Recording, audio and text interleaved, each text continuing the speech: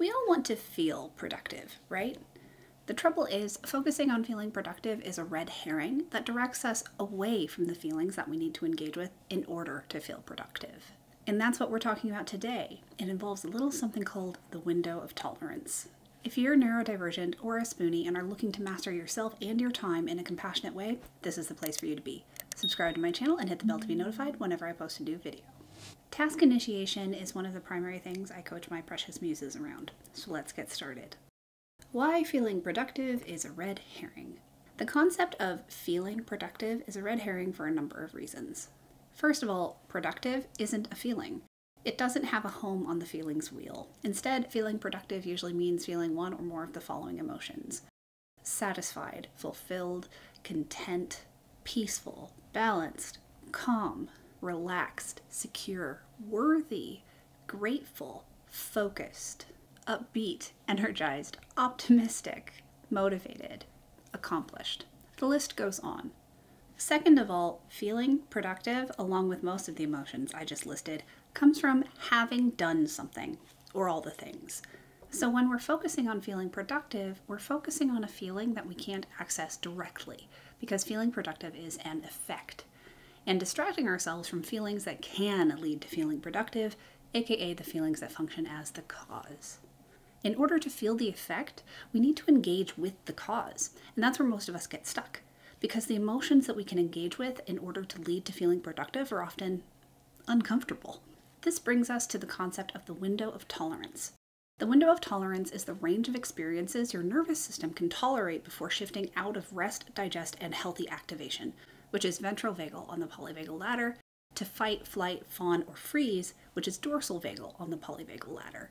Think of the window of tolerance as your nervous system's comfort zone. In fact, you can view your comfort zone as how you have learned to keep yourself inside your window of tolerance. Those who are able bodied, mentally healthy, and neurotypical tend to have larger, more stable windows of tolerance, whereas if you're not one of those privileged few, your window of tolerance is likely smaller. Things that can contribute to a narrower window of tolerance include neurodivergence and chronic illness disability. And neurodivergence includes neurodivergent neurotypes such as autism and ADHD, mental illness, PTSD or CPTSD, personality disorders, cognitive deficits, and learning disabilities. Furthermore, whether you're abled or disabled, times of stress can further narrow your window of tolerance. Yay. Now let's bring this conversation back to productivity. For those who struggle with productivity to any degree, I can pretty much guarantee that the tasks they struggle to initiate are outside their window of tolerance. Write the word window in the comments below if that just blew your mind. How to use the window of tolerance to help yourself feel productive. You're telling me that in order to feel good, I have to feel bad first? Well, that is an oversimplification. Yes, the answer is yes. I remember during my decade long Groundhog Day how I longed to feel productive. It was like the mirage of an oasis in the desert. I gulped down what I thought was water, only to discover it was sand. I was constantly aware of how desperately uncomfortable I felt all the time because I wasn't being productive. I was desperately aware of how everything I could do felt uncomfortable. I felt deeply ashamed, depressed, and stuck. Frozen. I was outside my window of tolerance, and it felt like I couldn't see the specific discomforts standing in my way. This is because the generalized shame of wanting to feel productive can blind us. It was only when I chose to face those specific discomforts and tackle them one by one that I was able, and am still able, to move forward. So, if the solution to feeling productive is facing and experiencing the discomfort standing in our way that's outside of our window of tolerance, how do we do that? There are three steps. One, do you need to ask for help because you're also dealing with barriers due to your disability or neurodivergence? Two, what accommodations can you offer yourself to reduce your discomfort in the first place? For example, accommodations don't have to reduce the specific discomfort involved with the task, they can also increase comfort or pleasure for your other senses. For example, wearing noise canceling headphones while putting dishes away can help with the discomfort of the loud clinking dishes. That is an accommodation that directly reduces that specific discomfort and can make putting the dishes away easier. In contrast, cozying up in your favorite PJs and a blanket and sipping a delicious hot chocolate while writing the essay that's due this week doesn't directly accommodate the discomfort of writing the essay, but it does take the edge off by not also taxing your other senses or gas tanks. And three, what amount of discomfort are you willing to tolerate? Honor that. Think of this as a baby step. Practicing taking small steps outside of our window of tolerance accomplishes two things.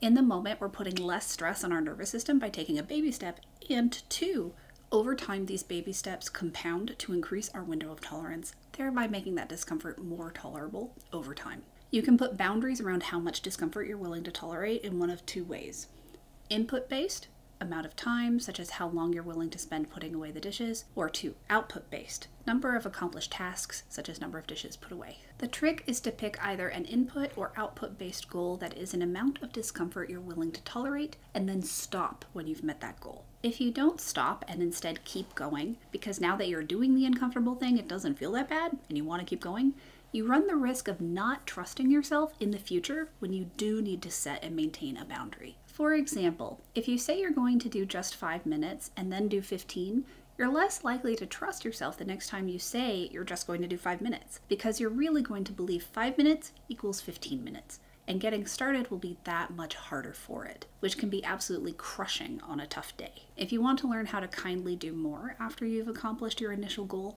Watch my Pomodoro method video next. There you have it, why trying to feel productive is a red herring and what to do about it so you can actually become productive. If you enjoyed this video, you'd probably also enjoy my signature course, The Action Navigator, it's packed to the brim with even more tools and techniques for mastering your time, getting organized, and offering yourself radical compassion as a neurodivergent spoonie. If that sounds like exactly what you've been looking for, use the link in the description box below to learn more. P.S. I now have my own version of a Patreon. Learn more about that at the link in the description box below. If you liked this video, hit that like button and subscribe, and be sure to share it with your friends. I'll be back soon with another video. See you then. Bye! The trick is to pick. Oreo! What was that? Uh, bye.